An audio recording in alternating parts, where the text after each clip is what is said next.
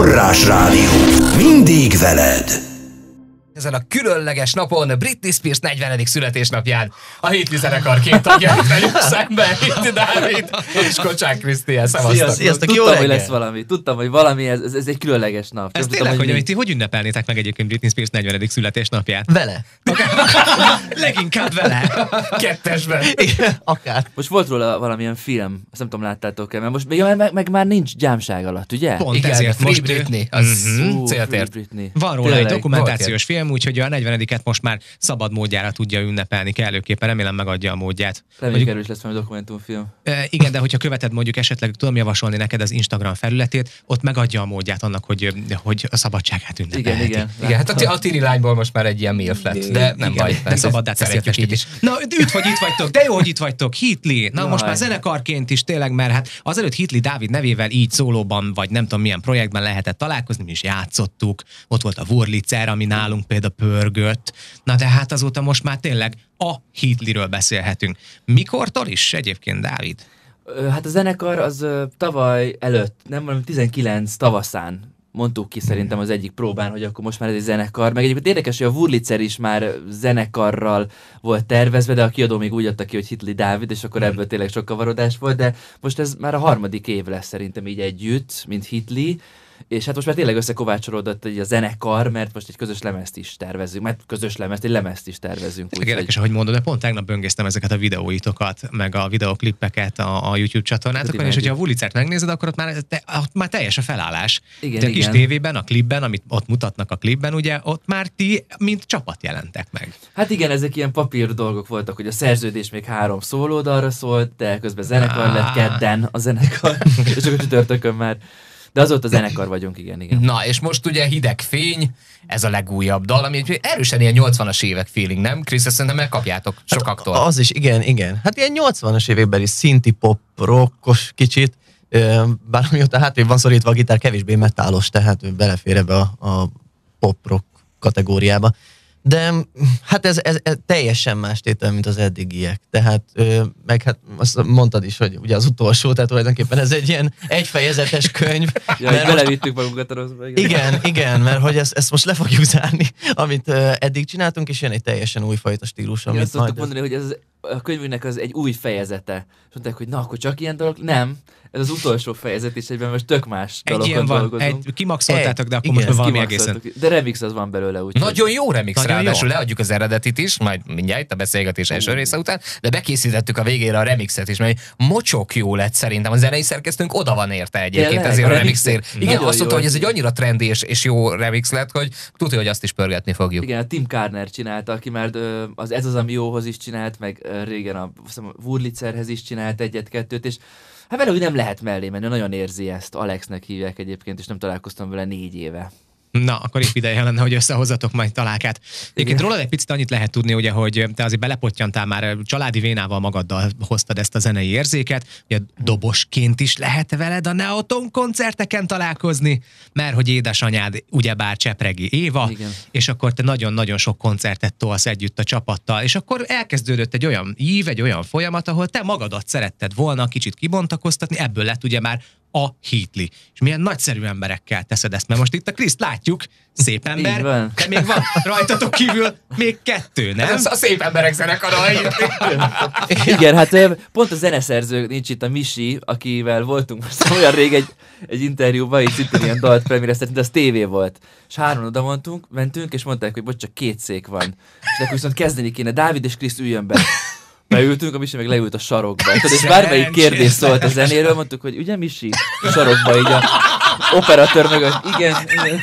És ő hátulról volna. És nézett ki, esett az eső, nagyon drámai volt az egész. Nézett ki, tudod, magányosan. És aztán hívtak taxit is nekünk, és mi hazamentünk taxival, de neki nem szólt, szóval neki ki kellett fizetni a taxit.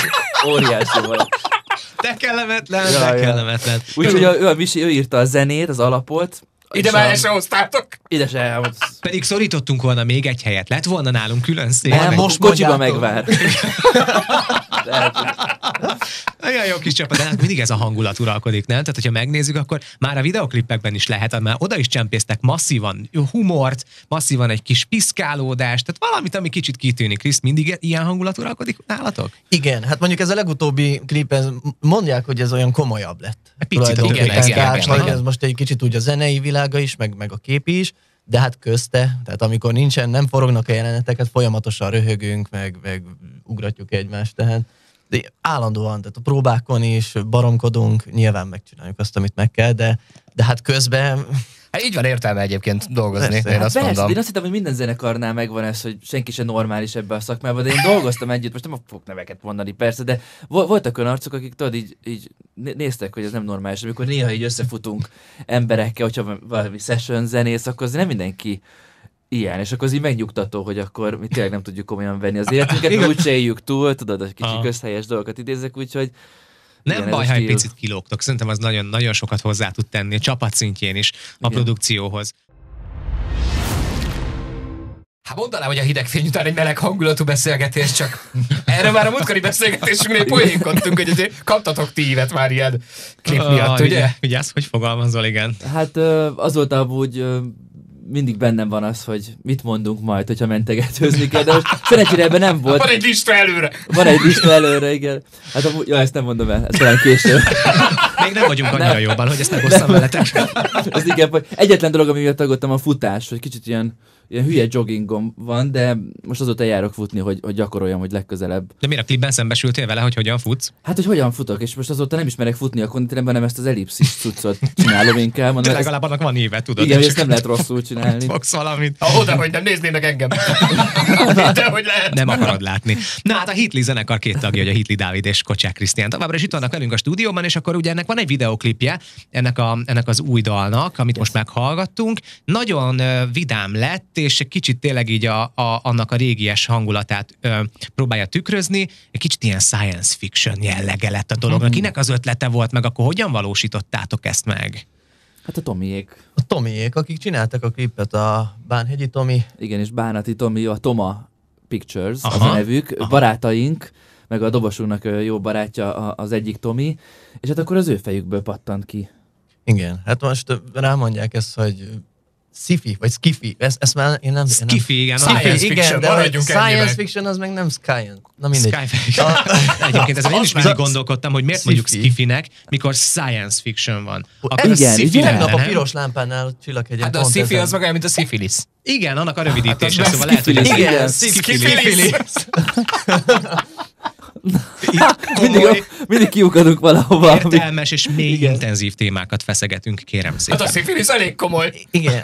Egy kicsit ilyen go, ö, pokimongós hangulata is van egyébként a klipnek, hogy szerez meg mindent, tudod, és akkor Begyűjtött tényleg a srácokat, Ja. mert a klip arról szól, hogy akkor Igen. egyszer csak fölébredsz valahol, ahol egy ilyen zöld meg piros fényekkel nagyjából a zenekarnak a helye lenne. De hát csak egy magad vagy, tehát össze kéne kukázni a többieket. Igen. Hát ö, sikerül? Nem sikerül? Hát kiderül, ha megnézik, ugye a kedves hallgatók, úgyhogy én sem emlékszem már, hogy sikerült, Krisz? Ne, Azért ne ez ilyen kattintás vadász volt. Igen, igen. Egy Igen. kicsit. Hát van benne három darab neonfény, és ettől sci tudod, vagy skifi. Igazából, tehát ez a... De, de jó. De Jó, nem- a nem tudom, hangulat, az egésznek olyan hangulata van tényleg, mint hogyha egy ilyen régebbi típusú akciófilm lenne, ahol így föl kell kutatni az embereket, összeszeded a srácokat, aztán a végén lesz egyébként egy ilyen kis poénja a dolognak, mert hogy te magadat is össze kéne, hogy szedte, még hiányzol a csapatban, nem akarom lelőni tényleg, akkor a téged akkor idézve, aki kíváncsi, nézze meg a videoklipet, hideg fény. Mondjuk ez az olcsó akciófilm párhuzam, ez nekem nem jutott eszembe, de nem rossz egyébként. De A, picit olyan, nem? igen, a, a magyar Michael Dudikoff, vagy mi a... Oh, Dávide. Back from the dead. Már csak kit, kit hiányzott volna, akit így az órán keresztül oda. Ja. Ez tényleg. De taxira jutott pénz a kliphez. Arra jutott, meg ö, hát nem volt könnyű. Én pont egy koncertről jöttem, és aztán hajnali háromig kellett futni, és se víz, se sör. Neked volt sör egy, egyedül. nekem volt, de Látszik is a olyan- klipben a fejeden. De hogy ugye, az a, színi, a, a színészkedés. A színészkedés, Ezt persze. Olyan jelenetem volt, mondták, hogy egy ilyen enyhén ittas jelenetet kell, és mondom, hát akkor legyen Az autentikus. És nem indult el a fel. Hol a Krisz? Ja, mondom, bement a Tóth kocsmába. Jó, és akkor be kell menni ott, hogy gyere már! Jó, jó, csak és gyakorlok, tudod, nem is tudom már miket mondod. Átszellemülök. Átszellemülök, az, igen. Teljesen autentikus akarok lenni. Na most egy kicsit fussunk vissza az időbe. Jó, nem kell nagyon messzire mennünk, mert hogy azért ti komoly megmérettetésen is voltatok, már több dal szerepelt, ugye a dalban mondjuk Tehát, hogy ti tényleg kom- komolyan veszitek, és pont ezt beszéltük Rolandal még mielőtt jöttetek volna, meg otthon én például tegnap este ilyen hitli zenéket pörgettem a YouTube-on. Na, mi is. Ti. Minden nap egy pörgetitek a izét. Igen, hogy a Spotify-on mutassa. Igen, igen. December van, most jönnek a Spotify Igen, igen. statisztikák, tudod, úgyhogy várjuk a- majd a posztotokat nektek is. Szóval, hogy rájöttünk arra, hogy van egy ilyen különleges atmoszférája ezeknek a zenéknek, és hogy hiába van sablon téma, de hogy tök jó, tök jó íve van a mondani valónak, meg tök jó szavakat használtok, gondolatokat. Hogy beszóltál már? Hiába van sablon téma. De nem, mert hogy miért nézd, Nem, hát- most a hidegfény az miről szól? Arról, hogy valaki el, hogy üresség van maga, maga után, és akkor Igen. ezt valahogy be kell tölteni. De ezt meg is lehetne fogalmazni ilyen sablonosan, ahogy én tettem, viszont ti egészen másképp fogalmaztok. Ki a szövegíró? A Máté, a Müller Máté, a dobosunk, Mhm. tavaly évelején csatlakozott hozzánk, és mint hogyha ezer éve ismernénk őt. Egyébként a Müller Péter generációnak az utolsó, vagy nem az utolsó leszármazottja, hanem a, ugye van a Müller Péter, annak a fia, a Sziámi, vagy fogadott fia, és akkor neki az utolsó vagonban ott van a Máté. Wow. Szóval neki, neki vala, csak azért mondom, hogy neki valamilyen szinten így benne van a vérében ez a szöveg. Meg mindig megmutatja az apjának, Mhm. és akkor ö, múltkor majdnem eljött egy koncertre, mondta olyan, hogy ne, ne gyere el a faléci. De szóval ez, ez tőle van ez az egész. De akkor most már említsük meg a Fancsaszki Viktort, hogyha, mert biztos hallgatja, szerintem ő az egyetlen, aki nem dolgozik. Ő, ő biztos, hogy hallgatja, hogy szia Viktor, mi újság van? Mesélj, hogyan telnek a reggeli órák. Ezzel lehetne hirdetni is titeket, nem? Hogy Hitli, a zenekar, amelyiknek egy koncertjére majdnem elment Müller Péter Ja, igen, Sziámi. igen, igen, majdnem ott volt. Nem csak, én sem szerettem, amikor any- anyám jött a, a, a, a koncertekre, mert tudtam, hogy, hogy vagy megnézik, vagy nem Más tudom. szemmel Ah, fogják. Más szemmel. Ne, nem tudom, ez kicsit más is, hogy apa, meg, meg a anyuka. Egyszer eljött még az első zenekarom volt a Roxon, és akkor eljött ilyen szemüveggel, összekötötte a haját, de nem, nem ismertem fel, nem is tudtam, hogy ott volt. Ez nem is lehet, hogy eljött. De jó, Csak így tényleg. mesélte. Nem ész vala Máté írta a szöveget, mielőtt megint a szifilisznél kötnénk ki.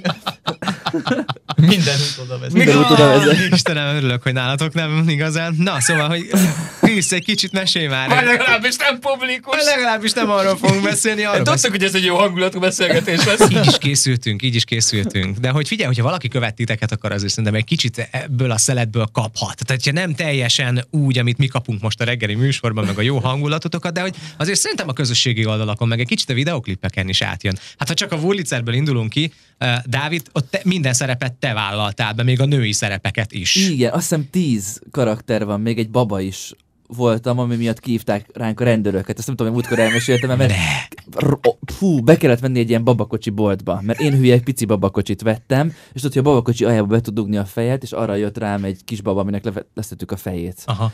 És akkor bementünk egy babakocsi boltba, és mondtuk, hogy szia, van esetleg ilyen 20 ezer alatt van babakocsi? Ez. Ó, ezt elvinnénk, és a rendezővel, a Tibivel kivágtuk az alját közben, miközben fizettem, mert ezt nem vissza kellett menni forgatni. Ezt nem mondjátok. És ott a mindenki- boltban kisgyerekek mindenki előtt bedugtam a fejem, hogy jó, ez működik. Oké, köszönjük szépen, kifizettük és elmentünk. Betegek vagytok úgy, ahogy Ja. van. És akkor ott kívták ránk a rendőröket. Még van is egy kép, hogy, hogy én már női ruhába vagyok, és tudod, jön a rendőr, hogy szóltak, hogy mégis mit csinálunk itt, van engem, minden rendben. Nyugalmat megzavaró képkockák. Csütörtökön négykor, igen, igen. Á, Istenem, bele, ha belecsöppentél, akkor jócskán. Ti hogy csöppentetek egymás életébe, Krisz? Na, Krisz. Na, mesélj meg. A Dal című műsorban. Egész volt az első. Igen, igen. Úgy, Kicsit ott közelebb a. Ott találkoztunk. Ö, Én vokáloztam nek, a Dávidnak, és, és akkor ott volt egy, volt egy ilyen akusztikus verziója a dalnak, amikor el kellett játszani a dalt akusztikban, és akkor ugye kerestük a zenészeket, hogy akkor ki játsza a, a dalt, és, és akkor mondtam a Dávidnak, hogy, hogy én egyébként alapvetően gitározom, nem vagyok énekes. Mondta, jó, akkor gitároz te. És akkor ott, ott álltunk először így Így közösen. maradtál. Igen, tehát ott, ott játszottunk először élőben együtt, és akkor utána ugye a többieket meg magunk köré szerveztük, úgy ilyen ismerettség, meg akkor a Kőbányai Zenei Stúdióba jártam, onnan ismertem őket. Mhm. Viktor meg a Máté ők régi barátaim voltak. Először ugye nem a Máté volt, hanem a Farkas, és akkor utána lett a Máté. Jó, mondjuk, aki a kőbányai zenesuliból jön, azért ott jó kapcsolatok vannak. Tehát ha mindenki azért megy oda, hogy Jönnek. akkor ténylegesen zenét tanuljon. És ott általában azért egész jól megtanulnak az emberek a, a, a zenével bánni, meg ugye a hangszerrel bánni. Igen, meg az, kialakulnak ott a kapcsolatok is, nem szóval, hogyha azt mondja, hogy kőbánya is volt, akkor már tudjuk, hogy ja, Ah, jó, igen. az akkor, akkor jöhet helyettesíteni. Ott megvan az atmoszféra. Forrásrádió. Mindig veled.